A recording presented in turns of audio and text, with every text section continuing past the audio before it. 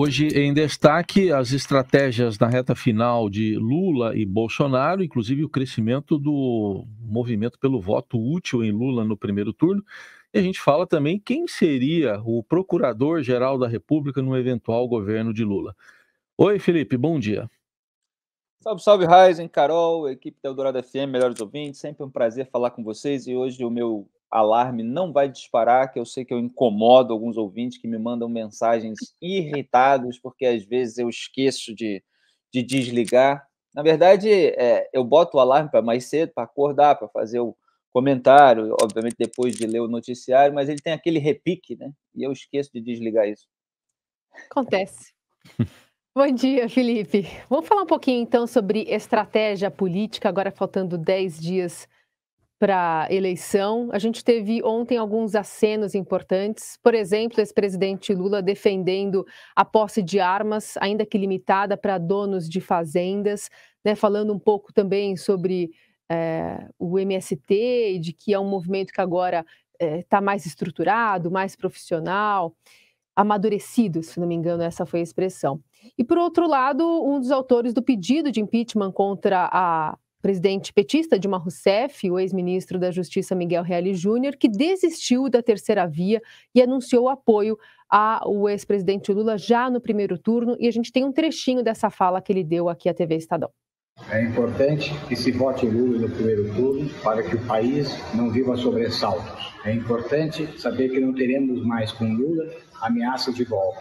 Não teremos mais um presidente indo à praça pública apoiar o fechamento do Congresso não teremos mais um presidente diferente à dor daqueles que sofrem como sofreram na pandemia. Não teremos mais um presidente e diferente a queimada da Amazônia e a destruição do nosso meio ambiente. Não teremos mais um presidente que elege como herói nacional um torturador como o Major Ustra. Não teremos mais um presidente indiferente àquilo que sofre a população mais pobre desse país. É por isso que eu acho que devemos resolver isso no primeiro turno. Está tentando mirar fora da bolha? Vai conseguir? Olha, Carol, eh, não é surpresa para mim que o Miguel Reale faça esse movimento. Ele é, pertence ao velho tucanato. Né? Ele foi ministro da Justiça do ex-presidente tucano Fernando Henrique Cardoso, foi filiado ao PSDB durante 27 anos. Quem está com o Lula na própria chapa é o Geraldo Alckmin, é dessa turma é, antiga é, do PSDB. O Miguel Reale Júnior, embora tenha sido coautor do pedido de impeachment de Dilma Rousseff, junto com Janaína Pascoal, que ficou muito mais próxima do bolsonarismo do que ele, ele nunca foi alguém à direita, ele nunca é, compactuou também com esse reacionarismo aloprado do Jair Bolsonaro. É, então, ele se soma aquele pessoal que já está junto com o Lula, mas obviamente pela simbologia de ter sido autor do pedido de impeachment da Dilma, é, ele agrega a, a essa estratégia é, do Lula, do PT, de posarem de conciliador, de formadores de uma frente ampla pela democracia, é, e jogar mais iscas ao eleitorado de centro, que é o eleitorado que o Lula quer atingir atualmente, principalmente aqui na região sudeste, nos três maiores colégios eleitorais, Minas Gerais, São Paulo e Rio de Janeiro. É, então, é, não é uma grande surpresa. Agora, você falou aí que o Lula é, afagou os é, donos de grandes propriedades rurais, de fazendas, é, dizendo que ninguém vai proibir que o dono de fazenda tenha uma ou duas armas. É, é uma sinalização para ele, para o agronegócio também, é, que tem muitos empresários ideológicos que defendem determinadas bandeiras que são a, a, empunhadas pelo presidente Jair Bolsonaro. Então, o Lula detectou que ele precisava falar alguma coisa para esse nicho é, que ele atacou quando ele participou da sabatina no Jornal Nacional, chamando de, de fascista. É, então, o Lula ele, ele, ele tem um, um, uma estratégia bastante frequente que ele coloca é, é, palavra na boca do eleitorado que ele quer atingir. Né? Então, ele fala assim: a, o agro tem dezenas de pensamentos políticos, né? como se não fosse só uma coisa restrita ao bolsonarismo, não, fosse só uma coisa é, restrita a um campo da, da direita, nessa cartilha mais republicana, né, que é emulada dos Estados Unidos, de, de, de defesa, de, de, posse de armas, etc. É, o Lula geralmente faz isso. O eleitor quer isso, fulano quer isso, o evangélico quer não sei o quê, então ele quer passar aquela mensagem é, para ver se ele molda, inclusive, o pensamento daquelas pessoas através é, dessa tática. Agora, é, vamos falar das estratégias aí de, de Lula e Jair Bolsonaro, Carol? Vamos lá nessa reta final, então. Só uma coisa que o, o Zé Leôncio do Pantanal não é bolsonarista, já deu para perceber isso. Nessa linha que você está comentando, o personagem não é bolsonarista. Mas vamos falar do, das estratégias dessa reta final. O que, que cada um está buscando, principalmente que se a gente levar em consideração, Felipe, que quando alguém está ali mal nas pesquisas, também seca a fonte, né? A fonte financeira.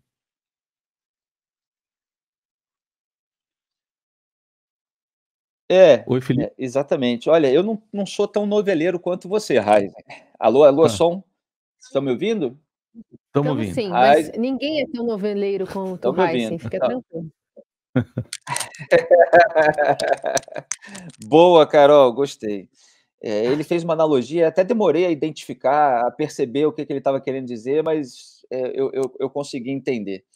É, hum. Olha, o, o Lula está focado aqui na região sudeste, eh, Jair Bolsonaro tentando se recuperar, existe essa disputa pela classe média urbana, já que o Lula ele tem uma vantagem muito significativa entre a população de baixa renda, até dois salários mínimos. Já comentamos que o aumento do Auxílio Brasil, aprovado no Congresso e desejado pelo Jair Bolsonaro, não resultou é, numa, numa grande mudança de cenário a favor do presidente. O Lula está usando bastante as celebridades, né, é, disputando ali é, o voto útil, querendo o eleitorado do Ciro Gomes, principalmente, mas também da, da Simone Tebet. É, existe uma preocupação na campanha do Lula com a abstenção. É, os estudos em relação aos anos anteriores de eleições mostram alto índice de abstenção justamente entre a população de baixa renda e baixa escolaridade. E é esse segmento que vota mais no Lula. É, então, há cidades onde existe um difícil acesso, inclusive à zona eleitoral, demanda um gasto por parte do eleitor, é, sempre existe o risco de prefeitos é, não é, colocarem ali o transporte público é, da maneira adequada. Então, eles estão fazendo uma grande mobilização para evitar é, esse alto índice de abstenção num segmento do eleitorado que vota majoritariamente a favor do, do Lula. É, ele soltou um vídeo né, nos últimos dias, o mais impactante em relação à trajetória do Jair Bolsonaro, assim como ele está sendo vidraça, alvo é de, é, de críticas por parte do presidente em relação a escândalos de corrupção. Ele fez aquele histórico ali do Bolsonaro é, como mal militar lá atrás, depois um deputado que só aprovou dois projetos em 30 anos, e depois é, esse lado mais perverso de Jair Bolsonaro ao longo da pandemia, com uma compilação de declarações é, e além dos escândalos é, da família, que é uma maneira de você manter a rejeição ao Bolsonaro alta e não permitir que o Bolsonaro vire o jogo da rejeição. É, do lado do Bolsonaro, é, o que restou muito para ele é turbinar a rejeição ao Lula. Não é um movimento fácil, justamente porque a rejeição do próprio Bolsonaro é muito grande. Então, ele terceiriza muitas vezes essa, essa função colocando ali imagens de veículos de comunicação, noticiando a condenação, mesmo que o próprio Bolsonaro demonize esses veículos, na hora em que ele precisa se reeleger, ele usa a imprensa é, que ele tanto ataca. Né? É, coloca um apresentador, tá? ele tenta sair de cena um pouco para que a mensagem é, ganhe maior credibilidade, porque quando vem dele, é, se reduz esse, esse nível de credibilidade. Agora ele quer botar no eleitoral gratuito também é, mais realizações do governo. É, e aí sempre se fala assim de ah, nós temos um problema de comunicação. Sempre foi assim ao longo do governo Bolsonaro. Não é só um problema de comunicação, evidentemente, é um problema de conduta é, do, do presidente. É, não dá para apagar as vésperas da eleição, pelo menos não completamente, é, a maneira como ele se comportou ao longo de quatro anos, deixando em segundo plano, inclusive, algumas questões que é, poderiam, de fato, ser mais propagandeadas, sei lá, o marco do saneamento, a aprovação da reforma da Previdência, muito embora é, tudo isso já estivesse engatilhado nos últimos anos, e apenas houve uma conclusão, é, e com muita mobilização por parte do Congresso Nacional. Agora, as, é o lado reacionário aloprado do, do presidente, que é praticamente ele inteiro, mas que aparece nesses episódios, quando ele puxa um couro de imbrochável, é, quando ele imita alguém que está com falta de ar, etc., tudo isso acaba é, ganhando uma, um protagonismo. Então, é, ele pensa em botar aí saúde e educação na, no horário eleitoral gratuito, são as áreas de maior desgaste dele. Educação foi aquela rotatividade de ministros, o Milton Ribeiro, o último, antes do atual, que está mais na moita, está né, tá, tá em segundo plano. É, ele chegou a ser preso, ainda tem desdobramentos desse escândalo, porque um, o delegado Bruno Calandrini acusa a cúpula da Polícia Federal de ter interferido é, para que o Milton Ribeiro não prestasse depoimento, está colhendo depoimentos de alguns integrantes, isso provocou um racha ali na PF, é, que, o que envolve também a ingerência bolsonarista na Polícia Federal. É, e na área da saúde, enfim, pandemia, todo mundo sabe que gerou um tremendo desgaste para o Bolsonaro. É, estão investindo muito nas redes sociais, o Lula mirando ali o eleitorado mais jovem, inclusive, o eleitorado mais jovem não viveu os, os governos do PT, então o eleitorado toma decisão a partir das histórias que contam para eles, e o Lula tenta é, emplacar ali a sua narrativa para o eleitorado mais jovem. É, o Bolsonaro é bom deixar claro que ele perdeu votos, né? É, de 2018 para é, 2022. Então, quando a gente vê ali nos votos válidos, tirando brancos e nulos, ele está com 10 pontos a menos aqui na região Sudeste, mesmo no Nordeste, tem três pontos a menos. Ele está numa situação bastante complicada para recuperar esse território. É, há uma insatisfação com a, a, sua gestão e com a sua conduta, e ele vai precisar muito é, do apoio do Romeu Zema no segundo turno. É, vamos ver se Romeu Zema vai conseguir liquidar a fatura sobre o Calil em Minas Gerais ainda no primeiro. Agora, dependerá também da capacidade do Zema de virar votos. Né? Mesmo que ele apoie aí Bolsonaro, não quer dizer que ele vai conseguir virar o voto é, de quem já votou de, do jeito que quis no primeiro turno, sem que o Zema fizesse é, uma mobilização muito acentuada. A campanha do Lula já notou é, que existe esse risco de perder uns pontos em Minas Gerais, já voltou a focar um pouquinho ali, é, não para fazer uma vitória do Calil, que já se considera uma eleição perdida, mas para tentar estancar ali um eventual crescimento do sentimento antipetista, até porque o Zema está criticando bastante a gestão do Fernando Pimentel, do PT, no governo é, de Minas Gerais.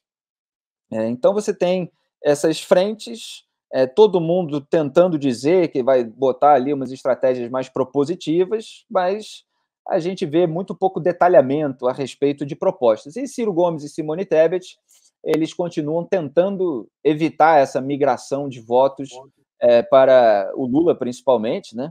É, já que as pesquisas detectam que a maior parte do seu eleitorado tem, teria como segundo candidato o Lula, a Simone fazendo é, um, um, uma campanha mais voltada a, a, ser contra a polarização e ser bastante propositiva é, na área da saúde, na área da educação, já que ela tem experiência como professora, fala muito para o eleitorado é, é, feminino, é, até o turismo é uma bandeira que ela conseguiu resgatar, e o Ciro atacando mais é, eu não gosto nem de usar essa palavra atacando, porque isso parece realmente que é, existe uma ofensa é, completamente fora da realidade. Muitas vezes ele faz uma crítica legítima, muitas vezes ele aponta uma verdade dentro do campo é, da esquerda, e é isso que incomoda os petistas, quando a verdade, que muitas vezes só vem de outro campo, ela é legitimada dentro do campo ideológico é, deles. Então, o Ciro está causando um incômodo muito grande, eu considero o elemento cultural mais interessante aí dessa,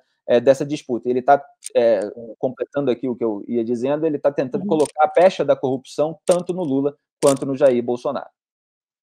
Felipe, e Augusto Aras, afinal, pode ser o procurador-geral da República que todo presidente gostaria de ser, apesar da sua função ser representar os interesses da sociedade? Pois é, saiu essa notícia hoje da Carolina Brígido no UOL, ela cobra ali essas questões mais a ver com o judiciário e, e o Augusto Aras está sendo cogitado pelo Lula é, como o Procurador-Geral da República a ser mantido, é, que é algo que eu, eu, previ um monte de vezes em um monte de comentários é, de que o, o, Lula poderia simplesmente manter tudo aquilo que Jair Bolsonaro fez nesse campo, é, porque o que ele fez foi é, sabotar o combate à corrupção, foi se blindar, colocar gente que não tem nenhum interesse de incomodar a, a velha política E Augusto Aras preenche aí todos esses requisitos. Ele foi, inclusive, pego emprestado do petismo.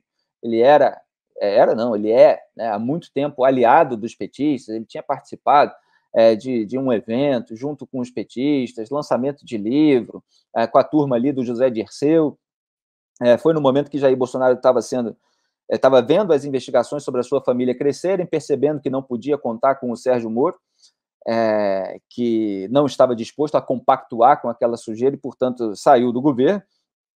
E ele escolheu ali o Augusto Ares, fora da lista tríplice da PGR. O mandato do Ares vai até setembro do ano que vem, então ele vai inevitavelmente ficar é, no, no, no começo do eventual governo Lula, mas depois poderá ser mantido.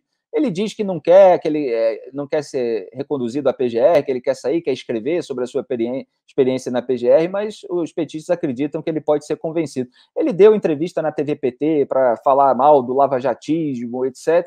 Então, assim, tudo que Jair Bolsonaro fez, inclusive no, no, Congresso Nacional, com votos de petistas e bolsonaristas, afrouxando a legislação penal, afrouxando a lei de impropriedade administrativa, tudo isso é, foi, é, foi uma forma de entregar o Brasil para o PT da maneira que o PT mais queria não precisa mudar nada mais é, para que a, a corrupção não seja devidamente combatida. É só manter o que Jair Bolsonaro fez. Isso faz parte do legado dele, aplaudido nesse campo por gente como Renan Calheiros.